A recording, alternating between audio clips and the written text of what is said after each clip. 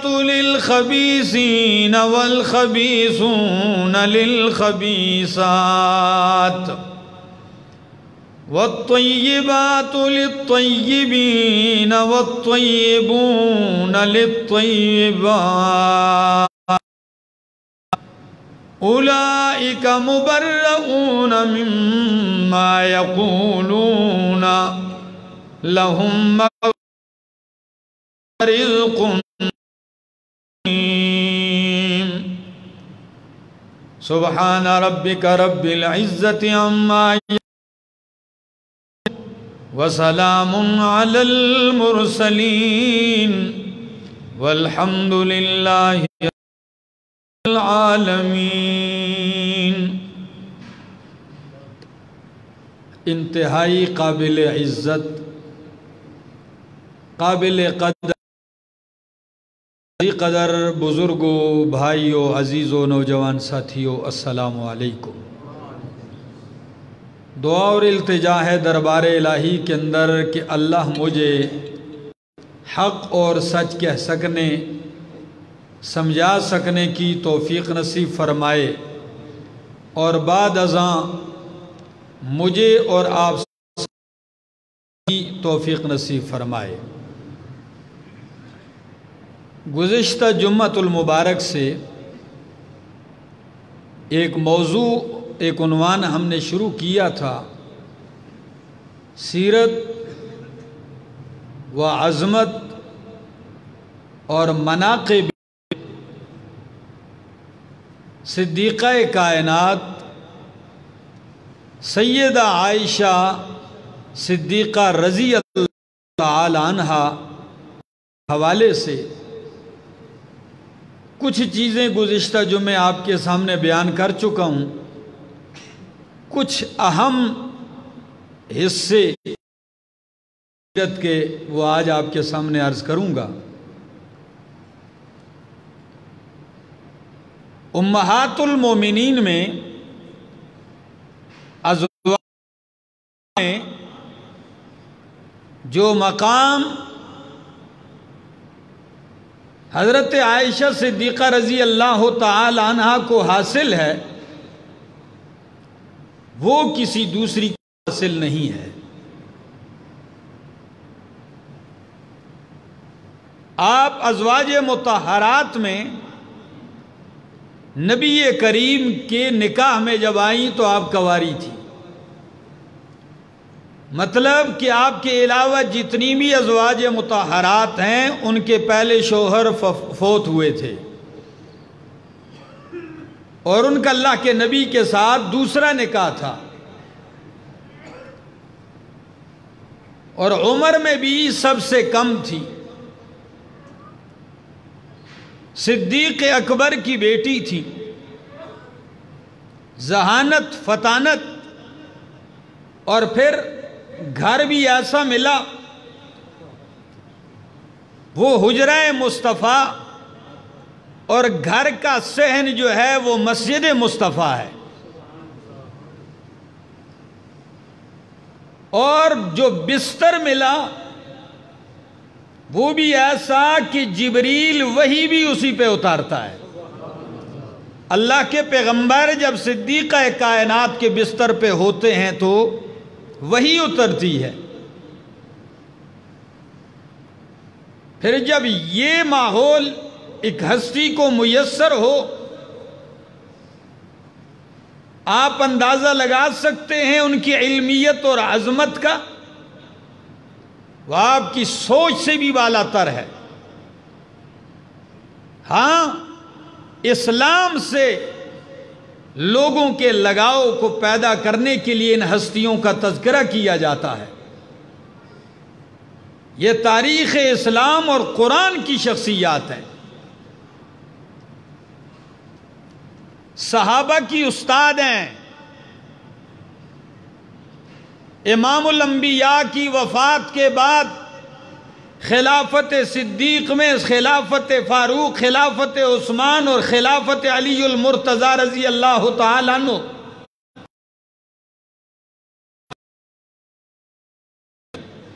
अल्लाह Akbar.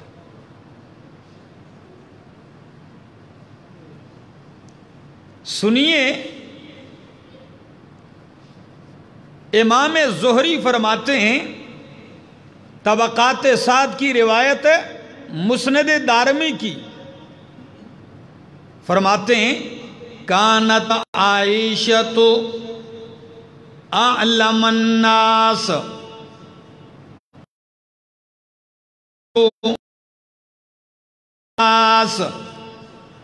Yes अलु हल अकाबिर रसूलिल्लाह। सिद्दीक़ा कायनात हज़रत आयशा लोगों में सबसे ज़्यादा इलम रखने वाली थी। दलील क्या है? इमाम जोहरी फरमाते हैं कि लोगों में साहब किराम में से अकाबरीन आपसे मसाइल पूछा करते थे यस अलोहल अकाबिर मिन असहाब रसूलिल्लाह। अकाबिर साहब किराम आपसे सवाल पूछा करते, मसाइल पूछा करते थे। और हज़रत और बिन जुबैर रज़ी अल्लाह तु फरमाते माराई तो आहदन कुरान वाला भी फरीजत वला बिफ़िक़िन वला बिशरिन वला बितिबिन वला बिहदीसिल अरब वला नसबिन मिन आयशता कहते हैं मैंने आज तक कुरान का बड़ा आलिम आयशा से नहीं देखा मारा आई तो आहदन कुरान की सबसे बड़ी आलिमा, फाजिला मुफसरा और ताज्जुब की बात नहीं कि कुरान जिसके बिस्तर पे उतरता हो, उसे कुरान का इलम क्यों करना हो? ताज्जुब की बात भी नहीं। वला बिफरीजतिन इल्म मीरास में आपसे ज़्यादा इलम वाला कोई हलाल हलाल हराम का इलम आपसे ज़्यादा किसी के पास नहीं। वला बेफिकहिन, दीन की समझ और कर हमने किसी को नहीं देखा।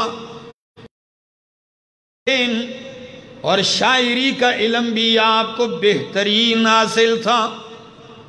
और इससे बात यह है क्योंकि हलाल व हराम तो आपके घर से पहचान होती है। कुरान तो उतरता ही आपके हुजरा अकदस में है। ये ताज्जुब की बात नहीं, ताज्जुब की बात ये कि वला बेतिबिन डॉक्टरी, तिब और हिकमत में भी आपसे ज़्यादा इलम किसी के पास नहीं था। मैंने गुज्त जुम्मे इस पर एक हवाला पेश किया कि उर्वा ने कहा, अम्मा जान ये बाकी बातें तो मैं मानता हूँ मुझे ताज्जुब नहीं है। क्यों? कि आप सिद्दीक की बेटी हैं। सिद्दीका बिनते सिद्दीक बिनते हैं। और हबीबा, हबीबत हबीबुल्लाह की जोजाएँ रसूलुल्लाह की हेती बीवी हैं। इसमें ताजुब नहीं। ताजुब आपकी हिकमत और तिब पर होता है। ये डॉक्टरी कहाँ से सीखी है? उम्मुल मोमिनीन ने फरमाया, और वाह ताजुब की बात नहीं है। नबी करीम जब आखिरी अयाम में, आखिरी उम्र में अक्सर बीमार पड़ जाया करते थे, और सारे अरब के वफद आते, एक वफद उठता, दूसरा वफद आता, दूसरा उठता, तीसरा बड़े बड़े हकीम आते वो आपकी सेहत के लिए, आपके लिए दवाइयाँ तजवीज करते तिब्बी नुस्खे तजवीज करते याद कर लेती और फिर आपके लिए दवाइयाँ बनाती। इससे मुझे तिब और डॉक्टरी भी याद हो गई है। तिब का इलम भी आ गया। इल्म नसब शजर नसब का इलम। आपसे बढ़कर किसी के पास नहीं था। अल्लाह अकबर। जब ये इल्मियत का हो, और इस नहीं, ज़रा आप आगे सुन लीजिए। ये उम्मुल मोमिनीन सिद्दीक़ा कायनात के शागिर्द रशीद हैं। कहते हैं, मैंने पूछा उम्मुल मोमिनीन, हल रा मोहम्मद रब्बाहू? क्या मोहम्मद रसूलुल्लाह ने महराज की रात अपने रब को देखा है कि नहीं? सवाल समझ सवाल। दूसरा सवाल ये, हल कतम क्या अल्लाह के रसूल ने वही में से कुछ चीज़ें छुपाई हैं या सब बयान कर दी हैं?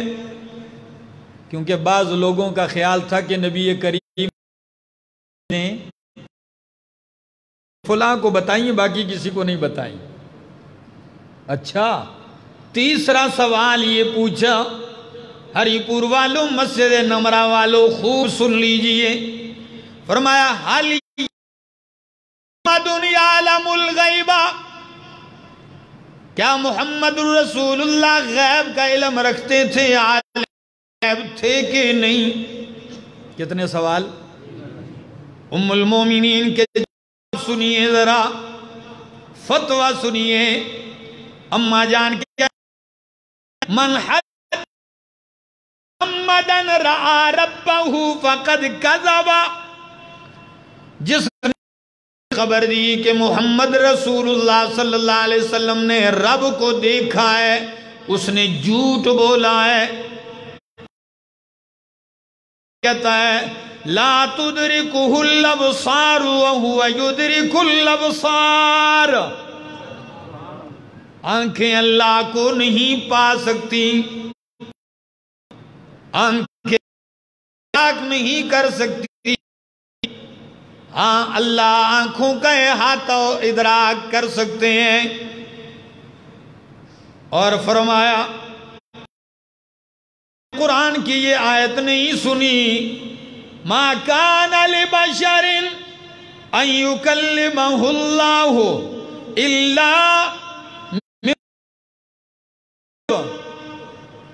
फरमाया, आपने ये नहीं सुना कि अल्लाह किसी बशर से भी आमने सामने बात नहीं करते सवाए तीन तरीकों के? या वही बेचते हैं?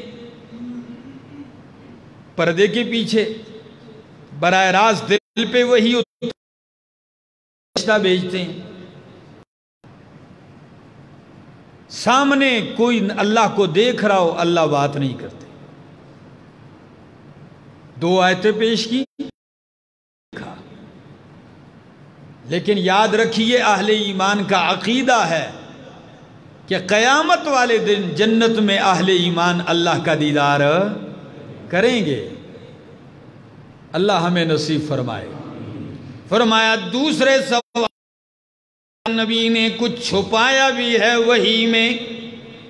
फरमाया, जिसने आपको ये खबर दी, नबी ने वही में से कुछ छुपाया है, उसने भी झूठ बोला है। इसलिए कि कुरान कहता है, या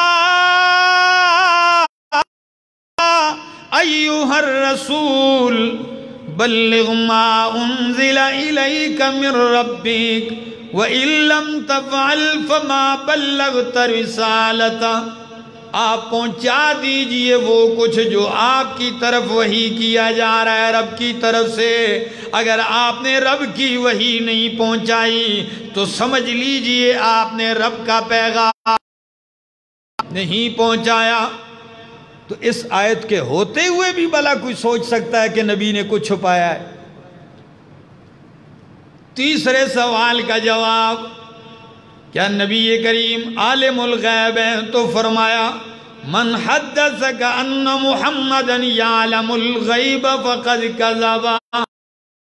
आपको ये खबर दी कि मोहम्मद सल्लल्लाहु अलैहि वसल्लम गैब जानते हैं, उसने भी झूठ बोला है। दलील, इसलिए कि अल्लाह का कुरान मन फिस समावाति वल अर्जिल गैब इल्लल्लाह कह दीजिए आसमानों ज़मीन में गैब कोई नहीं जानता इल्लल्लाह अगर जानता है तो वो कौन है अल्लामुल गुयूब कौन है आलिम कौन है अलीम बिजात है। अल्लाह के सिवा कोई आलिमुल गैब नहीं है। तो इल्म कुरान रासिख कुरान पे कितना उबूर। और यहीं पे बस नहीं। मेरे पास बहुत सारे ऐसे। तो यूँ भी होता, नबी सलाम बैठे हैं।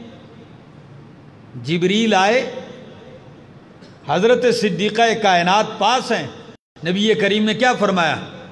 फरमाया, आयशा हादा जिबरीलू युक्र सलामा।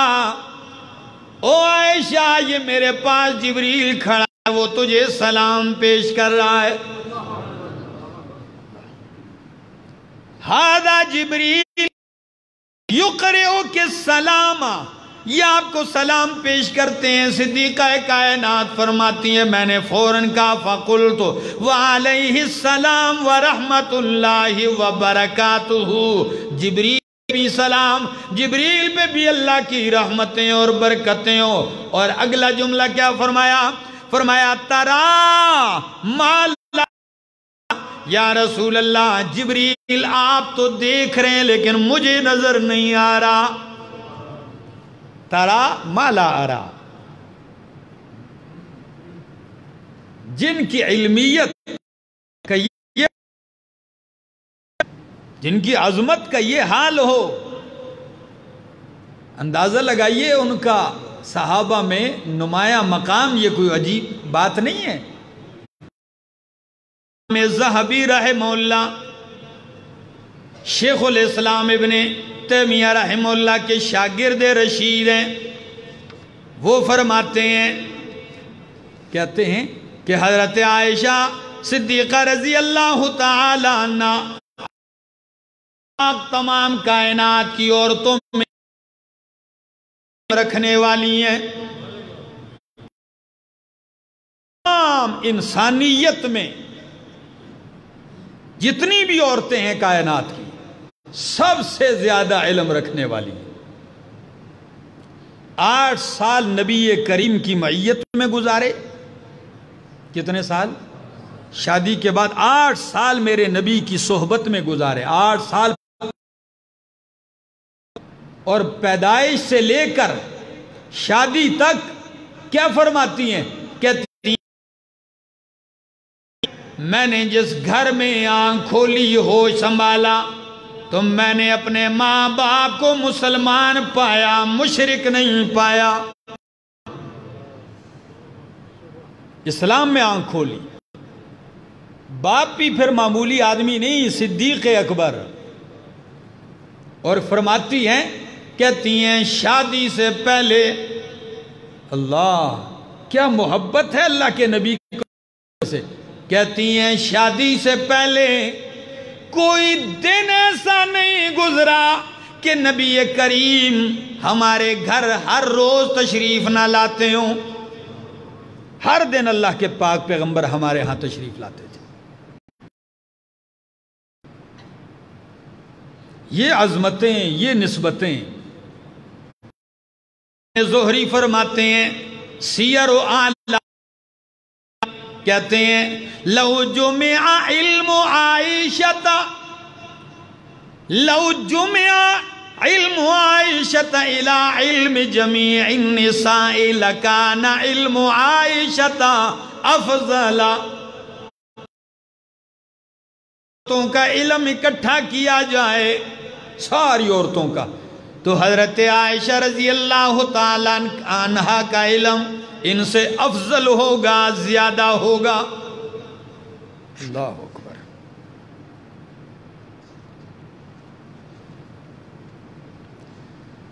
हज़रत अता इबन अबी रबाह कहते हैं कानत अफकहन्ना से व आलमन्ना से व अहसनन्ना से रायन फिल आमा। आप सबसे ज़्यादा फ़काहत वाली, सबसे ज़्यादा इलम वाली और लोगों में सबसे ज़्यादा बेहतरीन राय वाली थी। मोता इमाम मालिक मुस्ंद दारमी। मैंने बड़ी ये जितनी भी हवाले इकट्ठे किए हैं, आपके सामने सुना रहा हूँ। ये कहीं आप इनको मामूली न समझना। ही नहीं, उम्मुल मोमिनीन की शान ही निराली है। मानो, फ़ख्र करो, अल्लाह ने ऐसी माँ से नवाजा है। ऐसी उम्महात से अल्लाह ने नवाजा है। अब्दुल्ला इब्ने उमर रज़ी अल्लाह तु से किसी ने पूछा, जब हज़रत आयशा का विसाल हो गया, वफात पा गई, फरमाया, आप क्या देखते हैं? कि इनकी वफात पे कौन गमगीन होगा? तो फ़ौरन कहने लगे, जिनकी वो माँ थी, वो सारे ही अशकबार हैं। मोमिन जब माँ की अजमत सुनता है तो उनके सीनों में ठंड पड़ती है। सुनिए, जब मकाम हो तो हसद भी होता है ना? क्या? हासिदीन ने हसद भी बड़ा किया है। नबी करीब आप ज़रा तारुफ पेश करने लगा ये सुन ली। अल्लाह के पाक पैगंबर है, जब मक्का मुकरमा हिजरत करते हैं,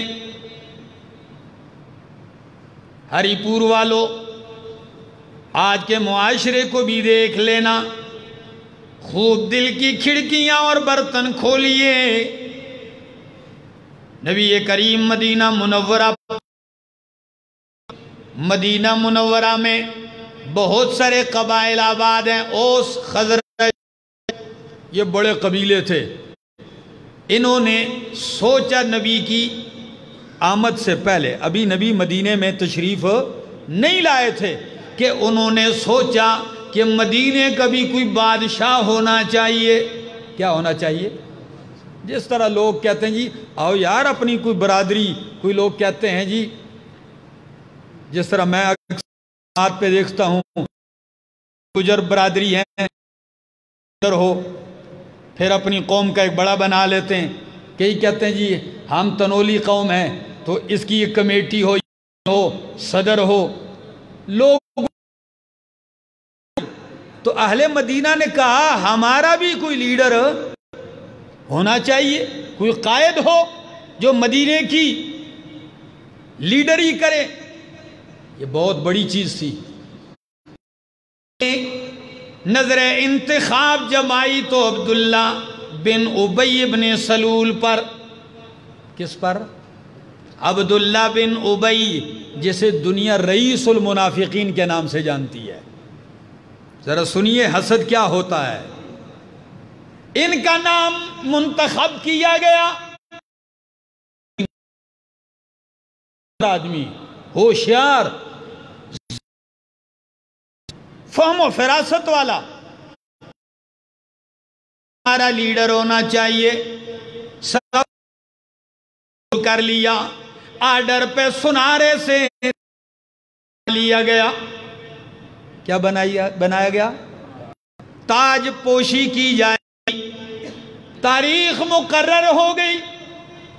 फुला महीने को। बरदारी होगी। वजारत उज़मा का क्या उठाएँगे? हलफ उठाएँगे। जब ऐसा मौका होता है, कोई दोस्तों को बुलाता है, अपनों को बुलाता है सबको मेरी खुशी में मुझे लीडर बनाया जा रहा है। अमारत मिलती है, क्यादत मिल रही है। दिन तय हो गया, ताज भी बन गया। अब सिर्फ़ बादशाहत वो दिन आने का इंतज़ार है। और अब्दुल्ला इबन सलूल जो है, अब्दुल्ला इबन उबई इबन सलूल दिल में बड़े सपने छुपाए हुए हैं। बहुत से ख्यालात हैं, बहुत सी उम्मीदें हैं। कुछ फहमियों में मुबतला है कि यकायक नहीं आया था कि मदीने में मेरे मोहम्मद की आमद हो गई। वसल्लम।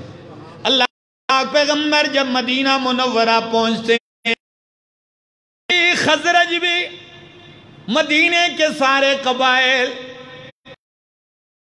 की क्या हैसियत बाकी रही? जब सूरज आ जाए, फिर ऐसे चरागों की कहा हैसियत रहती है?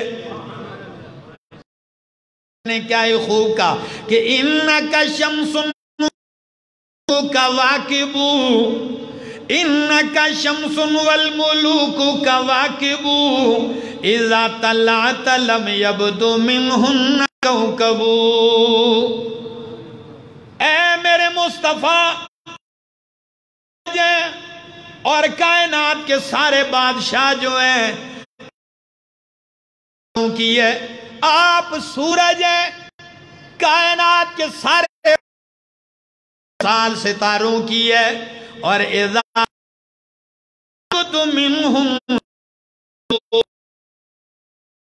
हो जाए फिर सितारे नज़र। अल्लाह अकबर और सूरज भी ऐसा, या सूरज नहीं, इसकी क्या हैसियत है? मेरे के मुकाबले में, तभी तो सिद्दीक हज़रत जाबिर ने कहा, लना शमसुन वलिल्ला फाके शमसू, लना शम वलिल्ला फाके व शमसी खैरु मिन शमस शमसुन्ना से ततलाओ बाद फजरी, व शमसी तत बादल आप पता नहीं सोए हुए हैं। दोस्तों, जाग जाओ जाग जाओ। हज़रत लोगों, दो सूरज हैं। कितने? दो सूरज हैं। वलिल्ला फाकी शम्स। लना शमसुन वल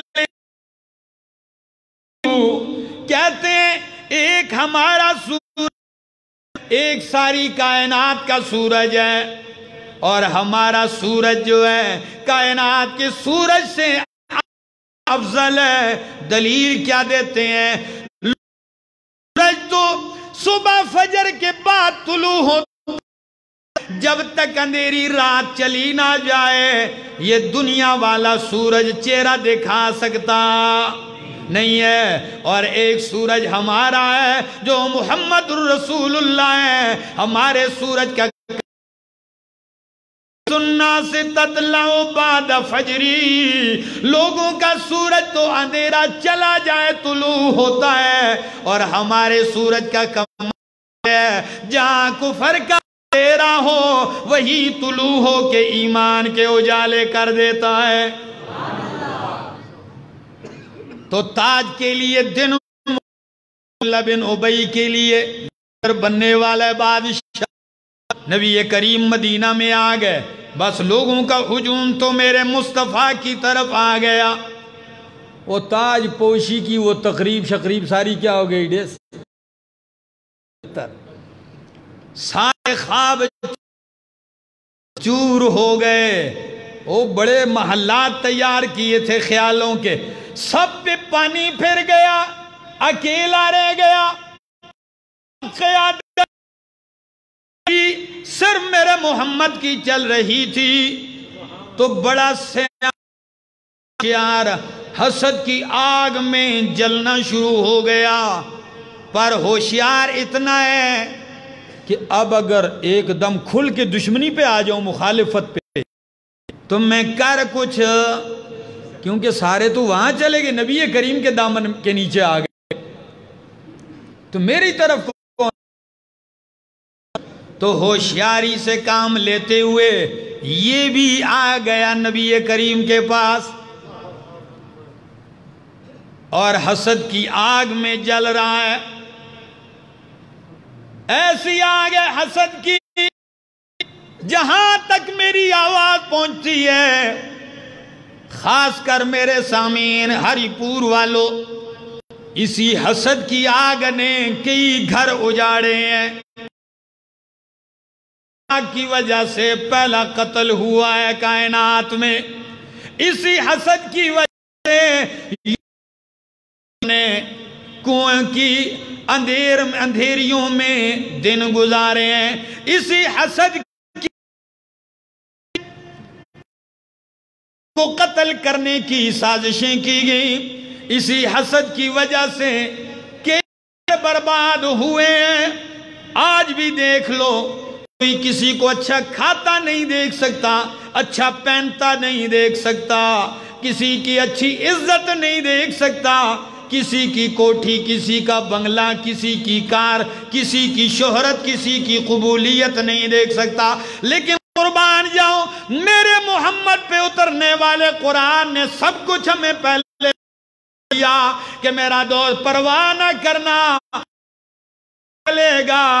हाँ कभी बाप भी मुखालफत पे आएगा। जब बाप मुखालिफ होगा तो इब्राहिम खलीलुल्लाह को सामने कर लेना।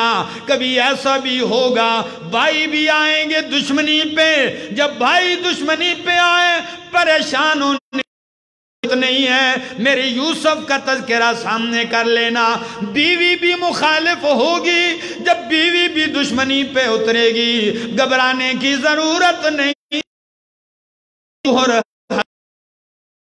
को सामने कर लेना। ऐसे होगा।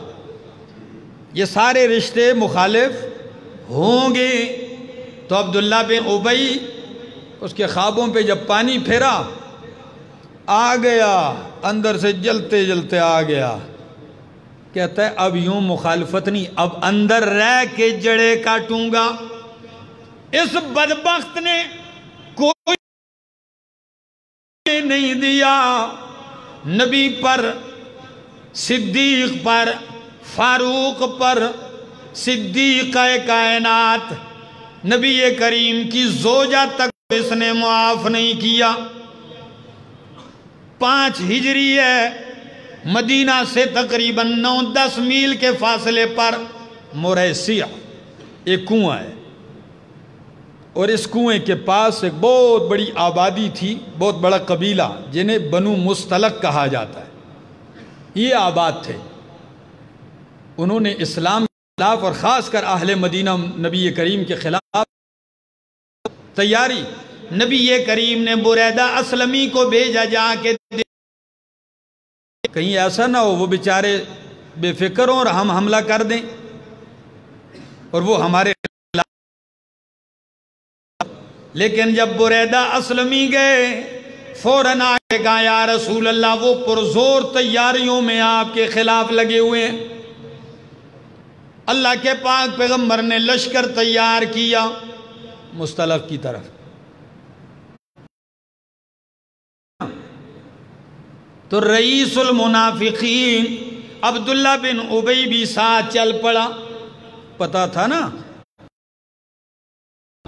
माल गनीमत मिलेगा, चलो हमें भी कुछ मिल जाएगा। ये भी कई दिन कुएँ पर अल्लाह के पैगंबर ने क्याम किया। और पता है माल गनीमत में दो हज़ार ऊँट, पाँच हज़ार बकरियाँ बहुत सारी। और इस सफ़र में नबी करीम के साथ उम्मुल मोमिनीन, सिद्दीक़ कायनात, हज़रत आयशा रज़ी अल्लाह तला भी साथ थी। खुद बयान फरमाती कि मैं साथ थी। वापस चलते हैं वापसी में। तो एक जगह पे नबी ने पड़ाव डाला। पड़ाव डाला, थोड़ी देर आराम किया। जब चलने लगे, मैं अपनी कज़ाए हाजत के लिए काफिले से दूर तकाजे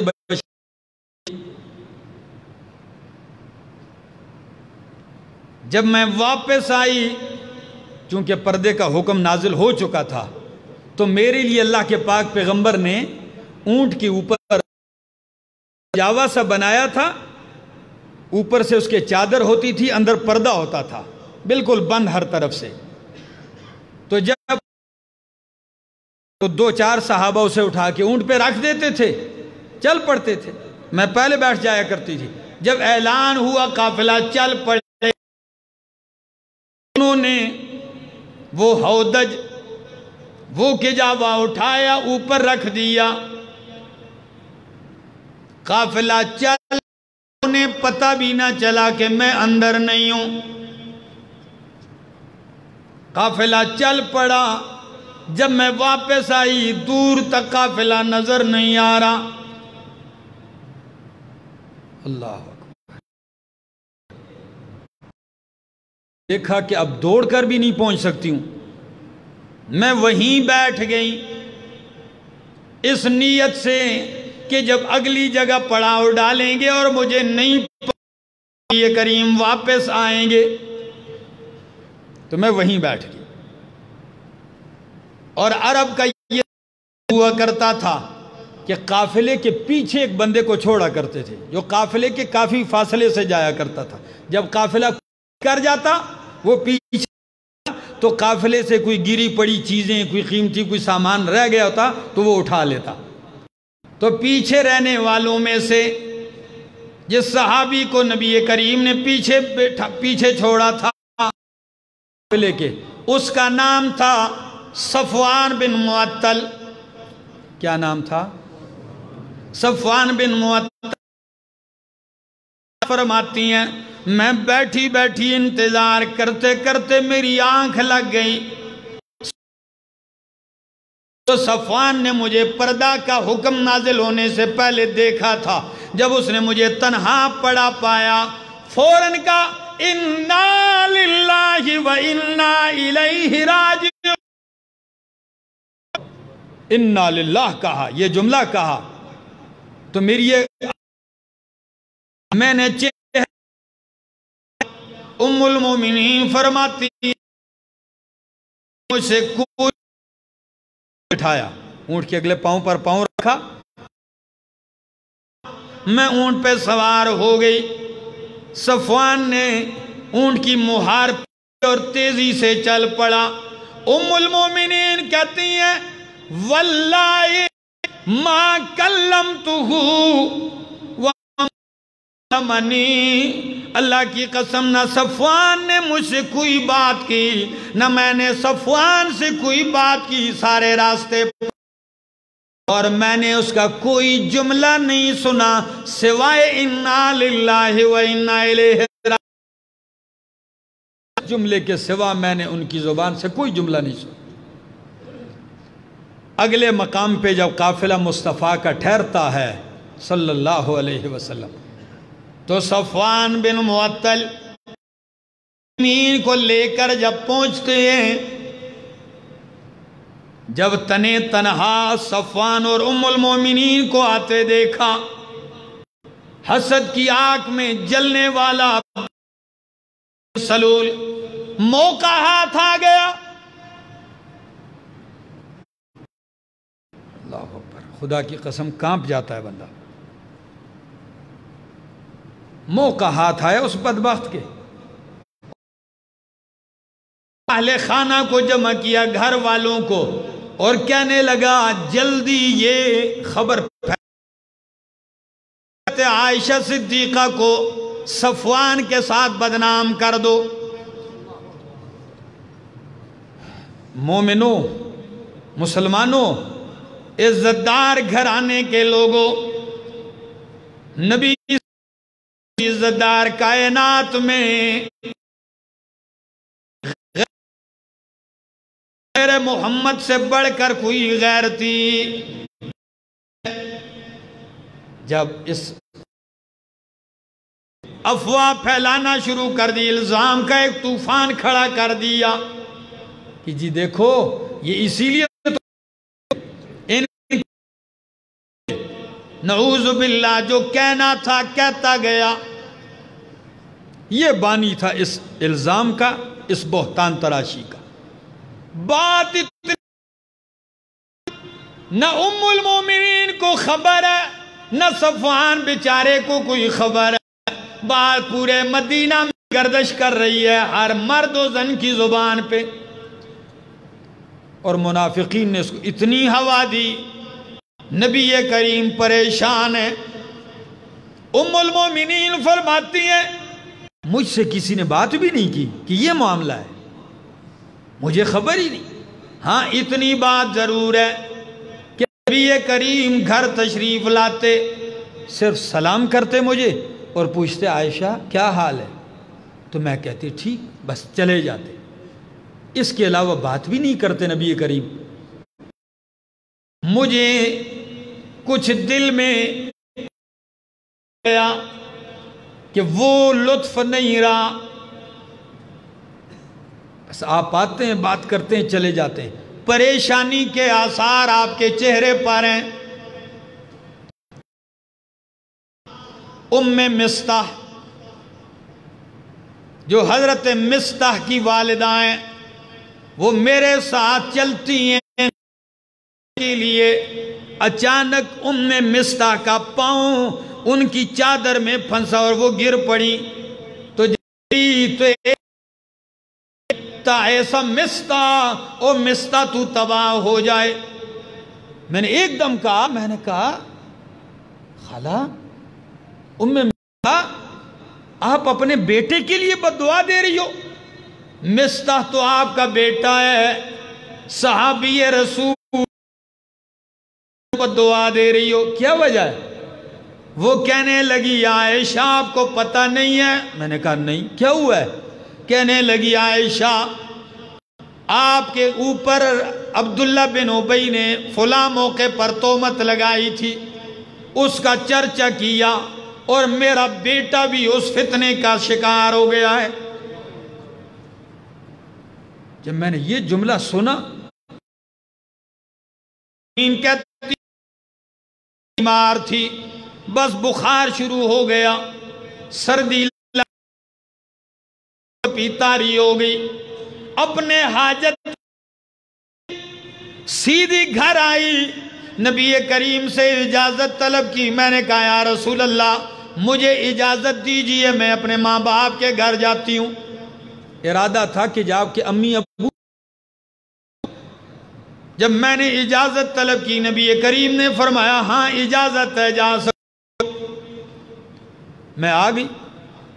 आई माँ परेशान अबू जान परेशान है। मैं आई, मैंने कहा, अम्मा जान। ये क्या बातें हो रही माँ ने जब देखा कि आयशा हो जाएगी, माँ माँ होती है। फिर मैं आयशा हाँ ये बातें हो रही हैं। लेकिन तू परेशान ना हो। कभी कभी शोकनों की भी हसद होती है। क्यों? तेरी उम्र भी कम। तू नबी को ज़्यादा महबूब है। हो सकता है कि इस तरह कोई बात बनी हो। तसल्ली देने की कोशिश की। मैंने कहा सोकने जैसे भी नहीं कर सकती। अल्लाह अकबर। बस कहती हैं, आँखें थमती नहीं। ऐसी हालत है बस। कह नहीं सकती। अब्बा जान के पास लगे। मैंने कहा, अबू तो फिर आपने अल्लाह की ऐसी नहीं है। अम्मी, आपने अल्लाह के नबी से बात नहीं की। दोनों ने कहा, आयशा,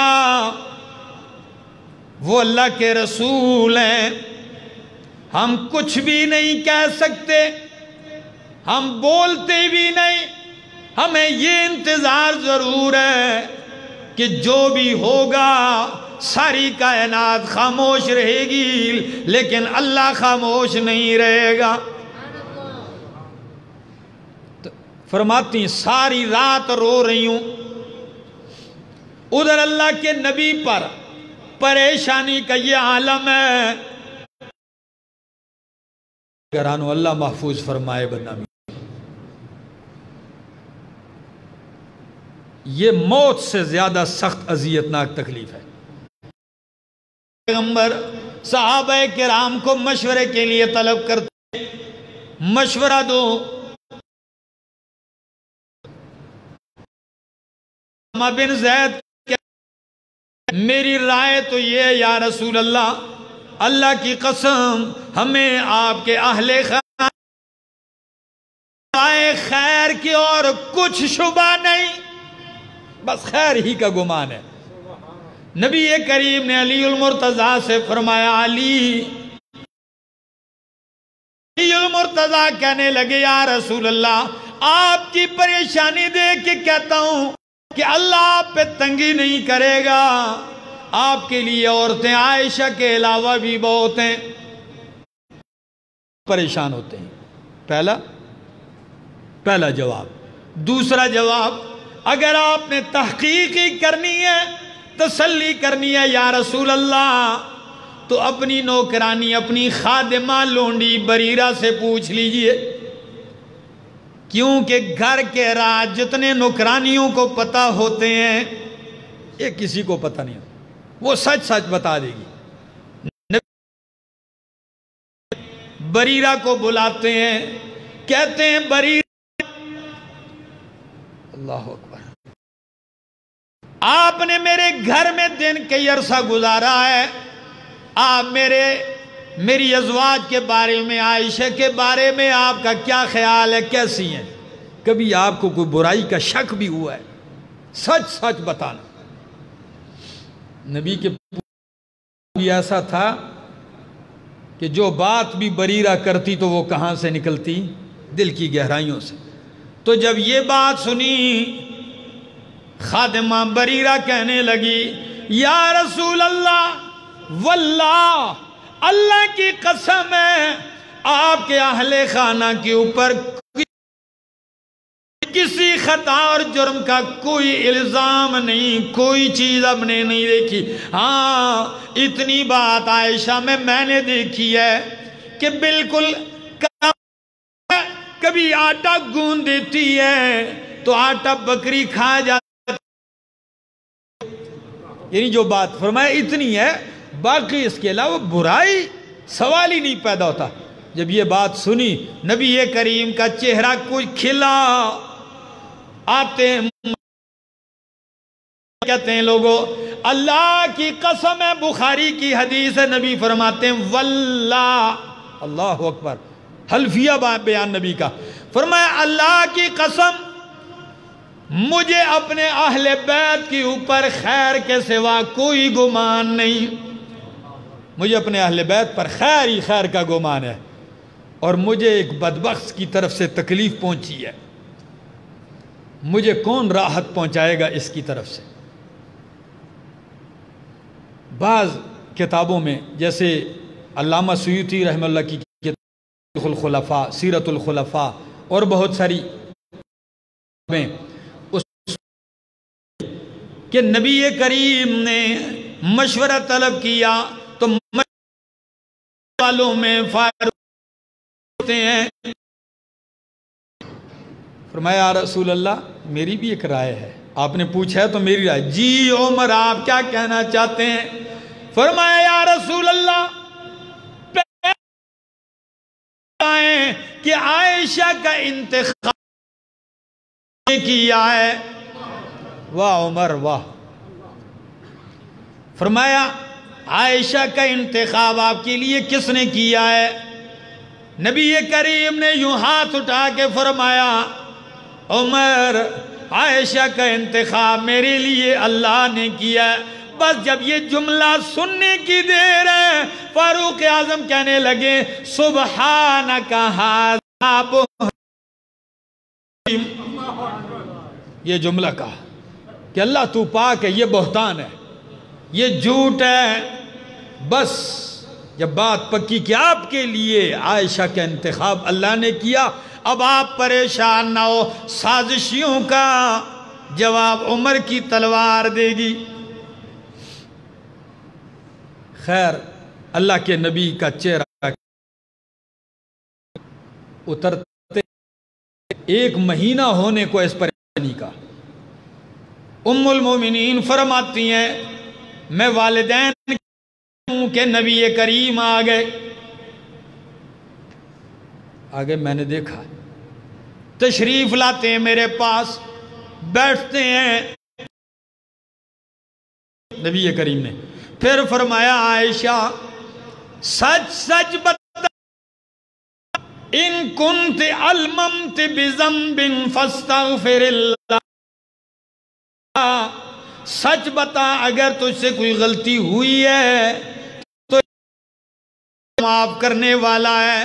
अगर तू बरी है पाक है बर्रे किल्ला तो अल्लाह तुझे बरी कर देगा। फरमाया, ये जुमला सुनने की देर थी, पहले तो मैं रो रही थी, लेकिन मेरी आँखें थम गई। मैंने कहा, या रसूल अल्लाह अब मैं क्या कहूँ? अगर मैं कहूँ, मैं बरी हूँ तो आप यकीन नहीं करेंगे।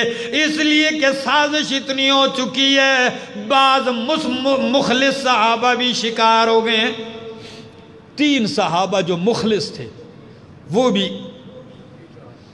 इस चाल में आ गए थे। उनमें एक का नाम हज़रत हसान बिन साबित है, बड़े मुखलिस साहब। इनसे भी कुछ बातें निकली। दूसरे का नाम हज़रत मिस्ता है और तीसरी औरत है जिसका नाम है हज़रत हमना बिनते जहश, जो नबी करीम की जोजा जैनब बिनते जहश की बहन है। ये तीन मुख सहाबा, ये भी इस साजिश में गलत फहमी का शिकार हो गए थे।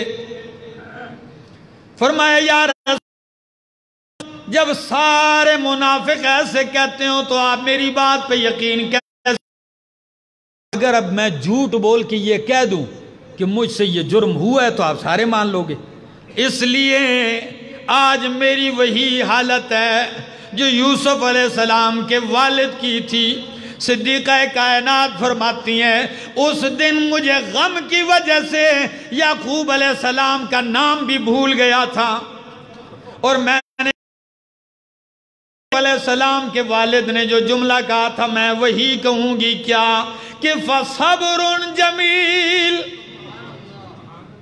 इन्नमा अशकू बसी व इल्लाह मैं अपनी शिकायत अल्लाह ही के सामने आया। ये मैंने जुमले कहे, फिर मैंने कहा, अम्मा, जवाब दीजिए ना। मैंने कहा, अबू आज जवाब दें। मेरे माँ बाप खामोश हैं। बच्चंद लम्हे गुजरने की देर थी कि नबी करीम के माथे पे पसीना शुरू हो गया। आप पे कैफियत वही उतरने वाली शुरू हो गई। आप मेरे पास बैठे हैं, वही उतरने लगी। जो ही उतरने का सिलसिला खत्म हुआ। नबी का चेहरा खिल उठता है। फरमाया, अब श्री या आयशा आयशा मुबारक को तेरी बारात का ऐलान अल्लाह ने कर दिया है। मुस्कुरा के कहा, जब ये जुमले कहे, उम्मुल मोमिनीन फरमाती हैं, मेरी वालदा फ़ौरन उठी, उम्मे रोमान। आके कहने लगी, आयशा कूमी जल्दी उठ शुक्र का उस वक्त मैं उठ के कहने लगी, मैं शुक्रिया, इनका नहीं, मैं तो अल्लाह का शुक्रिया अदा करूँगी। मैं फ़ौरन सजदे में गिर पड़ी। नबी करीम ने अठारह आयतें तिलावत की मेरी पाकी और तथहीर में, और क्या कहती हैं उमुल मोमिनीन? कहती हैं हरिपुर वालों, मैंने मुस्तकिल जुम्मा पढ़ाया था इस मौजू पर कि दिल की इबादतों में से एक इबादत है अल्लाह पे हुसन जन। क्या? अल्लाह पे अच्छा गुमान करना। ये हुसन जन का नतीजा है। कहती हैं, इतना तो मुझे यकीन था कि अल्लाह मेरी बारात उठाएगा, लेकिन मेरे ख्याल में अपनी इतनी हैसियत नहीं थी। मेरे दिल में अम्मा फरमाती, अपनी इतनी हैसियत नहीं थी। मैंने समझा कि अल्लाह नबी करीम को ख्वाब के ज़रिए मेरी बरात वही इतनी तो नहीं थी कि मालिक इतना एहसान करेगा कि मालिक मेरी पाकी में अल्लाह अपना कुरान उतार देगा। मेरी पाकी और तथहीर को, मेरी एफत और पाकदामनी को कुरान बना देगा, जो कयामत तक मिंबर, महराब और मस्जिद की जीनत बनेगा। कयामत तक मेरी पाकी को इबादत समझा जाएगा। कयामत तक मेरी पाकी की तिलावत की जाएगी। ये मेरी उम्मीद नहीं थी, ये मालिक का एहसान है। अल्लाह, हरिपुर वालों, सोचता हूँ कितनी बड़ी अजियत गुजरी। लेकिन यह भी बता दूँ कि बेसब्र वल यकीन तो फिद्दीन। बेसब्र वल यकीन तो फिद्दीन। सबर और यकीन ही के ज़रिए दीन में बंदों को रहबरी मिलते हैं। कितना सब्र किया होगा? वो आयत मैं आपके सामने पढ़ता हूँ। कुरान मुकद्दस कहता है इन